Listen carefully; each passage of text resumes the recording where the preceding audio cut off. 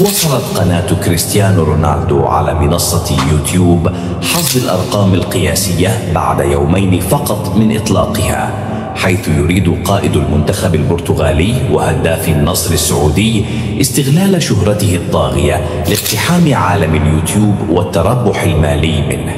وأطلق كريستيانو رونالدو قناته الخاصة في يوتيوب الأربعاء 21 غشت تحت مسمى UR Cristiano. وسرعان ما جذبت قناة رونالدو ملايين المستخدمين فور صدورها على اليوتيوب وأصبحت الأكثر مشاهدة في المنصة على الإطلاق إذ ساعدت جماهيرية صاروخ ماديرا على اكتساب ملايين المشتركين في زمن قياسي.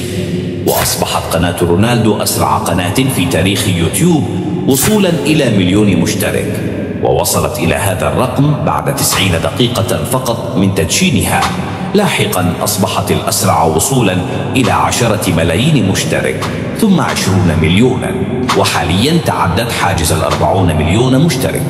وفي ظرف ستة وثلاثون ساعة فقط تعدى إجمالي مشاهدات قناة كريستيانو رونالدو 200 مليون مشاهدة من 19 فيديو منشور فقط وهو رقم قياسي بالنسبة لعدد المشاهدات في ثلاثة أيام فقط. ولم يتحقق من قبل في تاريخ المنصة الأمريكية المختصة ببث مقاطع الفيديو يحظى رونالدو بالفعل بحوالي 170 مليون مشترك في فيسبوك و112 على منصة إكس و637 مليونا في منصة إنستغرام وفي الإجمالي يمتلك ما يزيد عن مليار متابع في كل منصات التواصل الاجتماعي المختلفة ما يجعله الشخص الأكثر جماهيرية في العالم.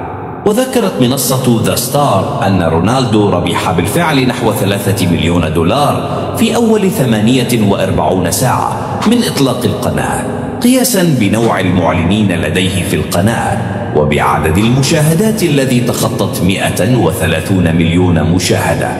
ومن المرجح أن تكسر قناته مزيدا من الأرقام القياسية في الأيام المقبلة.